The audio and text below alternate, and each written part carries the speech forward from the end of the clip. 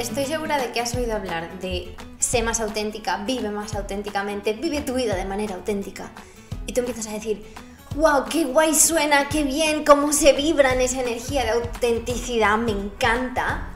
Pero luego hay una vocecita dentro de ti que te dice, ¿y eso cómo se hace? O sea, ¿cómo se vive una vida auténtica? ¿Cómo sé yo que estoy viviendo una vida auténtica? Entonces, hoy aquí en Primero Yo vamos a hablar de cómo vivir una vida más auténtica. Aquí donde hablamos de cosas que nos incomodan, de barreras que nos encontramos en, el camino, de cómo conocernos, potenciarnos, descubrir esa magia que solo tú tienes en tu interior y sobre todo de aprender a querernos. Bienvenidas y bienvenidos a Primero Yo. Si no me has escuchado nunca, yo soy Raquel. Aquí hablamos un poco de todo y de la manera en la que nos sale, pero especialmente de cómo mejorar nuestra relación con nosotras mismas. Y bueno, y si me escuchas desde hace un montón de tiempo, gracias. Estoy súper agradecida de que sigas aquí tantos meses, tantos años juntas, que te envío un súper abrazo. Y bueno, vamos a hablar de la autenticidad. Y bueno, obviamente, como de costumbre, vamos a hablar de la autenticidad un poco también desde dónde la veo yo, desde dónde la siento yo. Porque la autenticidad desde un punto mental, yo siento que es un poco difícil de cómo de entender o de saber si realmente estoy viviendo mi vida auténtica, porque como ya sabéis, la mente tiene sus propios mecanismos de, bueno, mm, esto me da miedo, esto se sale de lo que yo suelo hacer. Entonces, si nos basamos solamente en un plano mental para entender la autenticidad, yo creo que nos va a costar mucho. Para mí vivir en, en autenticidad es básicamente vivir alineada ¿Alineada con qué? Con lo que yo siento soy en el momento. Obviamente va a haber veces que el ego pues nos hace confundirnos, pero para eso está la autoescucha, para también empezar a entender cuándo realmente esto es puramente ego y cuándo soy yo. Y es por eso que vivir una vida más auténtica conlleva ir hacia adentro. O sea, porque yo no puedo saber lo que es una yo auténtica si no miro hacia adentro, si estoy constantemente mirando hacia afuera, si estoy constantemente viendo qué hacen otras personas auténticas. Si esa persona actúa y te dice que actúa de una manera súper auténtica, pero su manera de ser auténtica no es tu manera de ser auténtica. Principalmente porque no sois la misma persona. Entonces, la autenticidad no se tiene que confundir con eh, el ser más una mujer salvaje, porque Ahí hay otra parte, el de conectar con la mujer salvaje, el de conectar con nuestras raíces como mujer, que también van a formar parte de nuestra autenticidad cuando las conocemos, que por eso es súper importante empezar a conectar con tus ciclos, a conectar con otras mujeres, ir a estos lugares como los, los círculos de mujeres que yo hago, son muy poderosos porque empiezas a ver cómo reaccionan otras mujeres, empiezas a reconocer actitudes puramente de mujeres y no tanto de hombres, o quizá no las ves, pero se hablan, y empiezas a conectar con esa naturaleza que, todas tenemos un poquito, a ver, depende de la persona y de lo que haya trabajado en ello, pero la tenemos un poquito olvidada, desconectada, y porque la sociedad obviamente se ha ido alejando de eso, y la realidad es que hay un poder dentro de nosotras como mujeres súper desconocido y con el que no nos atrevemos ni siquiera a conectar, porque es como, uff, qué desconocido, que en contra de lo que me dice la sociedad que tengo que ser, mejor no. Obviamente cuando le decimos que no a esa parte, también estamos escondiendo un potencial de autenticidad que tenemos dentro como mujeres que Obviamente si pudiéramos conectar con eso seríamos más poderosas, estaríamos más alineadas con quien realmente somos, pero hasta que no tienes conciencia de ello, hasta que no empiezas a conectar, por ejemplo, con la luna, por eso yo siempre pongo tanto ímpetu en que conectemos con la luna, porque la luna nos empieza a mostrar partes de nosotras, nos empieza a hacer entender que nosotras no somos como el sol, somos como la luna, tenemos eh, arriba, abajo, al medio y no siempre estamos en luz, no siempre estamos en oscuridad y tanto la luz como la oscuridad son necesarias. Eso es solo una pequeña parte de lo que supone conectar con la mujer salvaje, pero claro, eso es otro tema que sí puede tener que ver con la autenticidad una vez lo conocemos. Hasta que nuestra conciencia no ha llegado ahí, hasta que no hemos indagado un poco ahí, todavía no es nuestra autenticidad. ¿Y por qué? Porque la autenticidad cambia. La autenticidad no es solo única de persona a persona, sino que también es única de momento a momento en tu vida. Es decir, la persona que eres hoy con la conciencia que tienes hoy puede ser auténtica de una forma que a lo mejor hace tres años no lo era. Por ejemplo, para mí, grabar este podcast en medio de mi salón, sentada en el suelo, eh, con mi ropa de deporte o mi pijama o lo que fuera, o grabarlo cuando lo grabo fuera en mi, en mi deck, en mi terraza, enfrente de los árboles y los pájaros, a pesar de que haya ruidos, a pesar de que no sea el estudio de podcast perfecto, es auténtico, porque soy yo, porque yo vivo así mi vida y yo os la muestro como que, bueno, es que no necesitamos ser perfectas para enviar un mensaje, no necesitamos ser perfectas, ni hacerlo perfecto, ni hacerlo como se supone que se tiene que hacer de acuerdo a, no sé, la, la definición de éxito que tenga otra persona, el enviar un mensaje de amor, el acompañar a una persona, se puede hacer de muchas formas.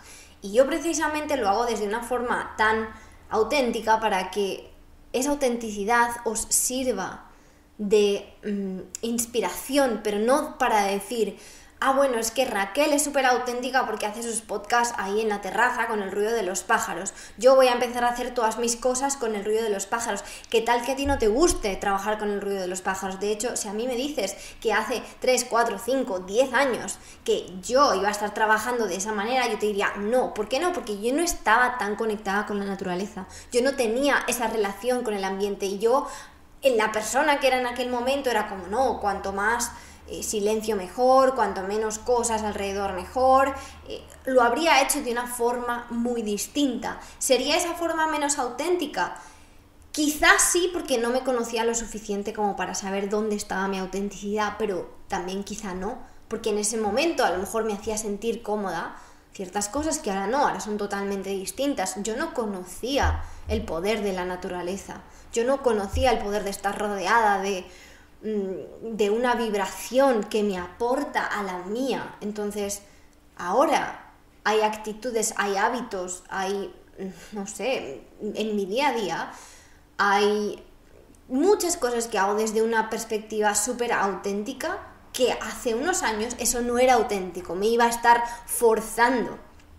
Entonces, eh, la autenticidad, que sepamos que sí puede cambiar con el tiempo, sí puede cambiar eh, con tu evolución personal de crecimiento, de desarrollo. Al principio dije que para mí la autenticidad es una alineación. ¿Y qué es una alineación? Es una coherencia. ¿Una coherencia de qué, Raquel? una coherencia entre lo que piensas y lo que sientes. Es decir, por eso desde la cabeza solamente no podemos ver si es que eso es auténtico, ¿no? Porque solo estamos teniendo en cuenta una parte de la ecuación, pero tenemos que tener en cuenta las dos partes, lo que yo pienso, es decir, mis valores, lo que pienso de la vida, en consonancia con lo que siento, porque a lo mejor yo pienso, wow, los baños de agua fría son súper buenos, está dentro de mis valores, pero sin embargo, lo que siento es que cuando lo hago me siento peor después. Entonces, por mucho que sea súper beneficioso para la salud, y es verdad que tu mente te va a decir cien mil veces no lo hagas porque es tu ego intentándote proteger, em, si tú te sientes, el cuerpo se siente peor, a lo mejor eso no es algo que es auténtico. Entonces tienes que aprender a mirar dentro de ti, a ver cómo te sientes para saber si realmente estás actuando en consonancia o estás tomando pensamientos de otra persona que te estás comprando como verdaderos, como lo mejor, y estás actuando hacia allá, hacia ese punto que te ha dicho esa persona que es la mejor vida, y estás ignorando totalmente cuáles son tus sentimientos cuando te mueves hacia allá. Y a lo mejor... Em, porque aquí lo que pasa es que mm, hay veces que se necesita ayuda, hay veces que se necesita una persona que te ayude a salir de manera mm, más amorosa contigo misma de la zona de confort, a que te ayude. Yo ayudo a personas a mejorar sus hábitos, a implementar sus hábitos en su vida, pero os puedo decir que para que la implementación se haga auténtica, cada una tiene que seguir sus ritmos y es verdad que yo estoy ahí para poner unos límites, que yo estoy ahí para decir, oye, esto se está pasando ya, esto es procrastinación, esto es miedo. ¿Cómo podemos hacer de manera amorosa que este hábito entre a tu vida sin que tú sigas procrastinando? Obvio tienen que haber unos límites porque podemos caer perfectamente en la procrastinación porque para ir a un lugar diferente del que estamos ahora, necesitamos pasar por momentos incómodos. Y es verdad que si tú ahora mismo, yo, quien sea, está actuando desde un nivel no auténtico, porque actúa de acuerdo con lo que dicen los demás o con lo que se supone que está de moda o está bien o lo que dice el TikTok o, o yo que sé quién, aunque eso no se sienta auténtico y yo me quiera mover hacia la autenticidad, que no sale aquí, no sale allá y la autenticidad está dentro de mí, en el momento que yo me empiece a separar de lo que dice TikTok, de lo que dice la sociedad, de lo que dice mi prima, de lo que dice mi madre, de lo que dice mi abuelo, yo voy a sentir incomodidad. Pero en algún momento dentro de ti tiene que haber algo que te diga, este es el camino. Si no hay nada, absolutamente nada dentro de ti que te dice, este es el camino aunque duele, a lo mejor esa no es tu autenticidad. Y es cierto que, como he dicho, eh, a veces llega como el, bueno, es que Raquel, yo no sé hacerlo, Raquel, yo no sé conectar conmigo. Y es por eso que yo em, ya he decidido que necesito crear un curso de conexión más profunda de cómo conectar con nosotras, porque lo que para mí ya puede ser fácil, el saber cuándo es sí y cuándo es no, para otras personas es muy difícil. ¿Por qué? Porque estamos viviendo hacia afuera, con el sistema nervioso súper activado. Y es muy difícil cuando estamos en ese estado mirar hacia adentro. Es súper difícil. Porque el cuerpo está en alerta, el cuerpo está como a ver qué está pasando. Entonces, yo no tengo energía para poderme mirar hacia, hacia adentro, porque mi cuerpo ni siquiera me deja. Y muchas personas podrán relacionar esto con me siento a meditar y nada más que recibo pensamientos. Les digo a mis pensamientos que se vayan y no se van. Y lo único que estoy pensando es en lo que voy a hacer después. Ahí estamos viviendo hacia afuera. Y yo entiendo que empezar y aprender a conectar requiere de requiere de, un aprendizaje, requiere de un proceso, requiere de un compromiso. Y es verdad que en Llénate de Amor hemos hecho muchísimo trabajo para conocernos, porque si no nos conocemos no nos podemos amar, si no nos conocemos no nos podemos respetar. Cuantos más nos conocemos, más auténticas somos, más nos queremos, nos damos la oportunidad de vernos. Pero claro, una vez que nos para conocernos también hay que conectar. Y es verdad que la conexión va progresiva. No podéis poner la expectativa de que de repente yo voy a empezar a conectar y voy a saber dónde está mi autenticidad 100%. No, es un proceso. Hay que aprender a conectar, hay que aprender a escuchar, a autoescucharnos, a mirar hacia adentro en vez de mirar hacia afuera. Obvio que hay estrategias, pero requiere un compromiso y es lo mismo que os dije con Em, este primer curso de Llénate de Amor, si no estás lista, si no tienes un compromiso contigo, va a ser muy difícil que llegues a nada. ¿Por qué? Porque para tú quererte más, para tú conocerte más, para tú pasar más tiempo contigo, ¿qué necesitas? Necesitas que exista ese compromiso. Si no, se va a tambalear constantemente. Va a ser como ahora sí, ahora no, ahora sí, ahora no. Y ese ahora sí, ahora no, no solo tú lo vas a recibir como, uff, no puedo confiar en esta persona porque no está para mí, sino que no vas a sentir que hay un proceso, no vas a sentir que hay un progreso. Entonces, el camino hacia la autenticidad puede ser fácil si eres una persona que tienes la facilidad de mirar hacia adentro y conectar contigo, o puede ser un poco em, con baches, con piedras, que es lo normal y lo que nos pasa a todos. También es cierto que me he encontrado con mujeres que conectan de manera instantánea con su instinto, con su sabiduría interior y no se lo creen. O sea, ellas saben porque obviamente está dentro de nuestra naturaleza como mujeres, pero sin embargo no se creen que son tan poderosas, no se creen que han de escuchar eso. Entonces, puedes estar en cualquiera de estos grupos. La cuestión es que la autenticidad no solo cambia con el tiempo, sino que se descubre dentro. Se descubre cuando una se empieza a escuchar no solo a ese nivel mental, sino al nivel de sentimientos y lo que sentimos y lo que pensamos empieza a alinearse y obviamente cuando sentimos y pensamos lo mismo, también actuamos. Entonces estamos haciendo ese triángulo que nos ayuda a, conseguir esa autenticidad. Y como hemos dicho, eh, a lo mejor mi valor es la salud, por ejemplo, eso es uno de mis valores. Vamos a poner un ejemplo más práctico de estos que nos gustan para entenderlo todos muy bien. Yo, por ejemplo, digo, uno de mis valores de este año, porque siento que me he descuidado un montón, es la salud. Y quiero vivir eh, súper alineada con la salud y con los buenos hábitos. Y yo he visto que Raquel dice que se hace esto, que se hace lo otro, que esto es, em, que esto es súper bueno para la salud y tal y cual. Vale, sí, hasta ahí estamos bien. Pero yo no puedo pretender que de repente todos esos hábitos que a lo mejor Raquel lleva haciendo dos, tres años, a mí me van a salir de repente así como que, ah, qué fácil. A mí no me fue fácil. O sea, yo llevé, o sea, yo me llevé un montón de tiempo intentando mm, eh, descubrir cuáles eran los míos, porque información hay muchísima y siempre va a ser muchísima, pero esa información que recibimos de quien sea hay que filtrarla con lo que a mí me hace sentido o lo que yo creo que puedo conquistar en ese momento. Entonces, digamos que lo que piensas, ese objetivo de salud sería el pensamiento, pero o el objetivo o el valor, pero luego cuáles son esas actividades que vas a hacer, cómo se sienten esas actividades. Tú puedes empezar a probar, voy a empezar a hacer yoga y voy a empezar a beber agua por la mañana. Y empiezas a beber agua por la mañana y te sientes después como súper aliviada, súper hidratada, súper bien. Pero sin embargo con el yoga empiezas a sentir que después de hacerlo te sientes eh, súper mal o, o sientes que tu cuerpo te está diciendo esto no es para ti. Que eso es una cosa, otra cosa es, uff, me duele el cuerpo. Obvio, cuando haces algo que no estás acostumbrada te va a doler el cuerpo, pero cómo te sientes verdaderamente, si tú conectas con tu corazón, ¿qué te está diciendo tu corazón? Porque tu esencia y tu corazón siempre van a estar ahí con el mismo mensaje. Eres tú la que va cambiando y la que va mirando hacia adentro, la que va quitando capas y va descubriendo lo que hay dentro. Pero la energía de tu corazón y la energía de tu esencia, porque tu esencia no es algo que está dentro de ti, tu esencia es limitless, es gigante. Em, no tiene límite, entonces tú vas accediendo a ese espacio, a esa energía, cuando vas conectando contigo, pero no es como que tu esencia de repente cambie. De hecho, me acuerdo, mm, eh, el otro día hablaba con una amiga y me decía, porque ha estado como muy enferma y ha pasado por un proceso en el que, mm, pues, de estar tan enferma y tener que mirar tanto hacia adentro porque no podía salir de casa, empezó a darse cuenta de un montón de cosas sobre sí misma, pero no solo eso, sino que cuando se ha empezado a curar, cuando se ha curado, ahora ve la vida de una manera totalmente distinta que nunca pensó que podría ver. ¿Qué pasó ahí? Una versión de ella murió.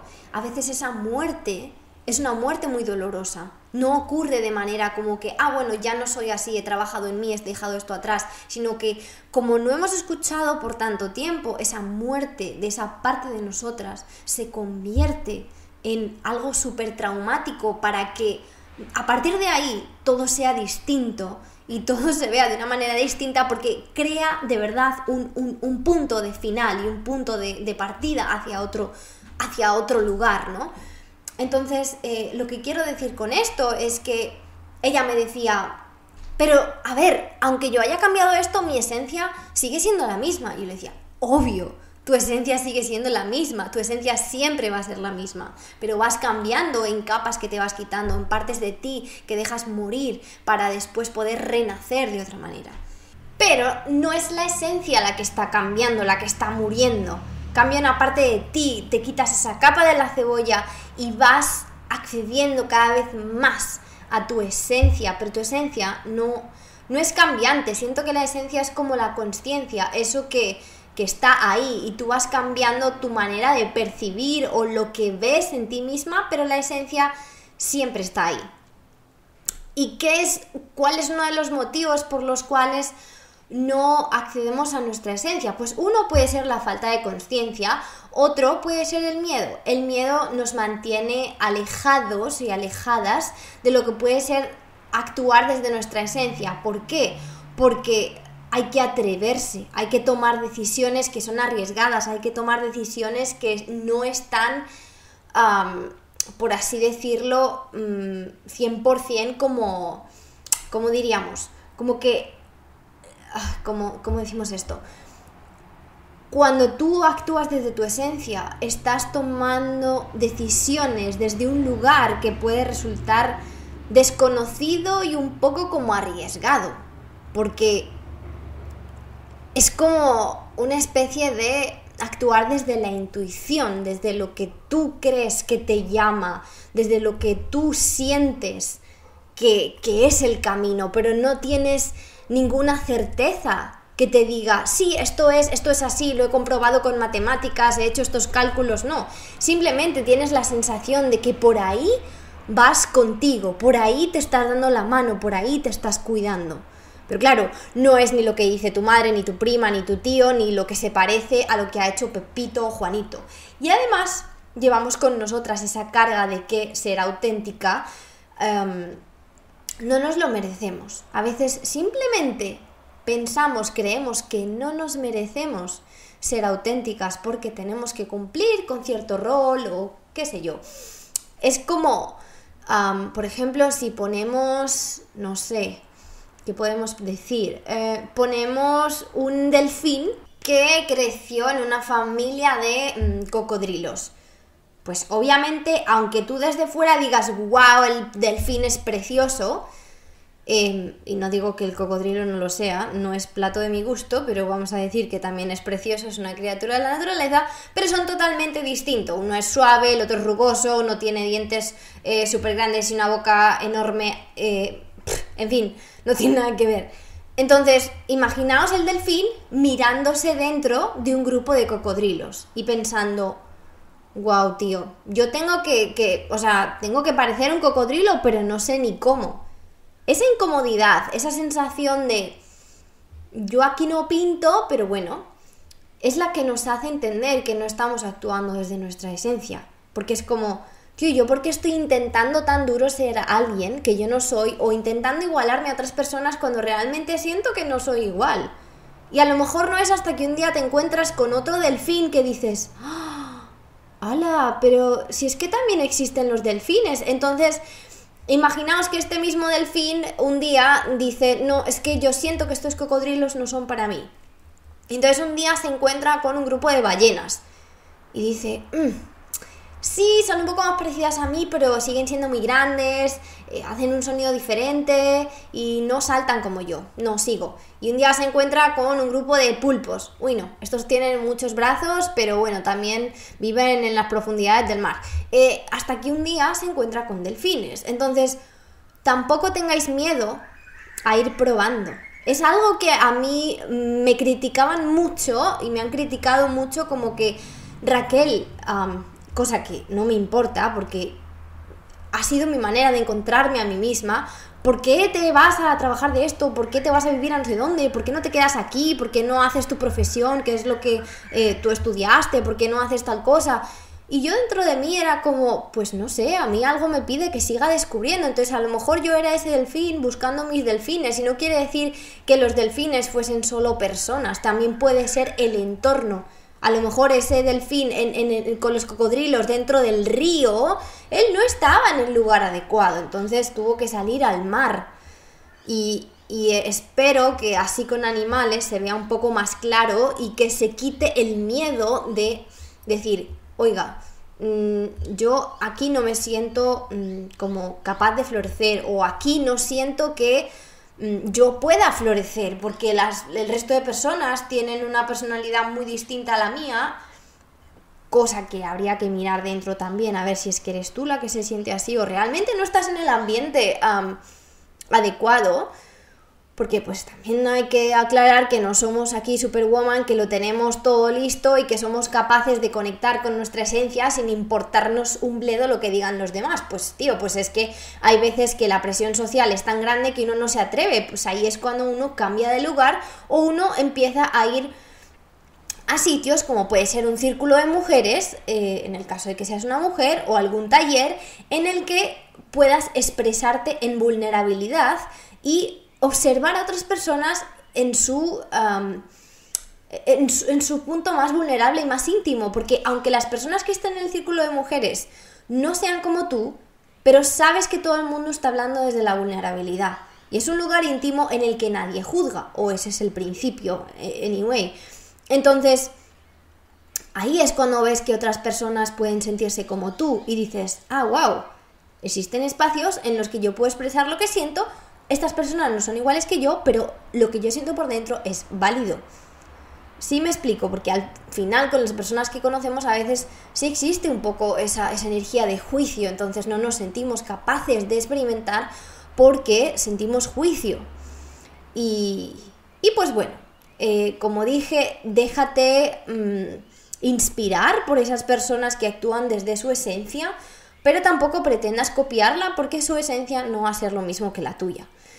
Y bueno, eh, creo que este podcast es muy valioso para esas personas que están ahí en ese camino de mm, no saber para dónde van eh, con, respecto a sí mismas y que a veces se culpan pensando, uy, no, lo estoy haciendo mal y de verdad que no es, no es algo que, que te merezcas, la culpa, porque toda tú, todo tu ser, todo lo que haces, sientes, vives y todo te lo, o sea, es normal que lo, que lo sientas, es fruto de tu proceso de crecimiento y quiero que no te sientas sola, que te sientas acompañada por todas las personas que pasamos, hemos pasado o pasaremos por lo mismo.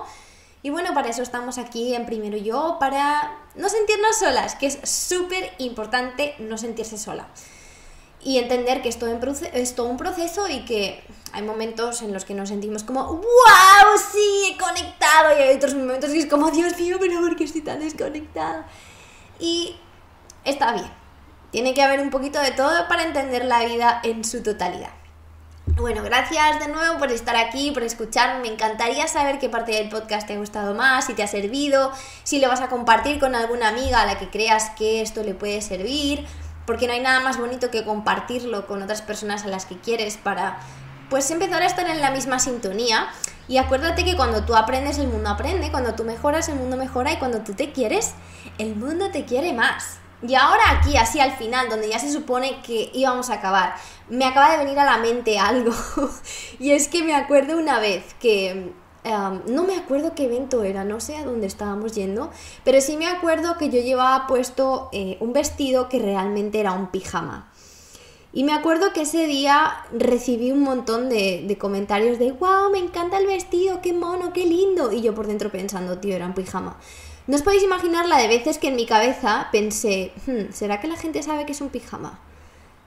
¿Cuántas veces me lo he puesto? Como cinco o seis veces, las cinco o seis veces ha triunfado el vestido. Entonces, es, es, solo otro ejemplo más de cómo a veces en nuestra cabeza al estar pensando, uy, se van a dar cuenta que es un pijama, uy, ¿qué van a decir de mí de que me pongo un pijama de ropa? Y realmente puede que guste más que nunca. Entonces a veces ni siquiera, ni siquiera sabemos, está todo en nuestra cabeza. ¿Y quién dijo? ¿Quién dijo que no te puedas poner un pijama para salir a la calle si así te gusta? O sea, pues si a ti te sientes más cómoda, pues, pues dale. Otra cosa es que me digas, bueno, es que tengo una entrevista de trabajo y voy a ir en pijama. Y a lo mejor es muy evidente que es un pijama eh, porque es de flanela y no sé qué más y tiene un osito.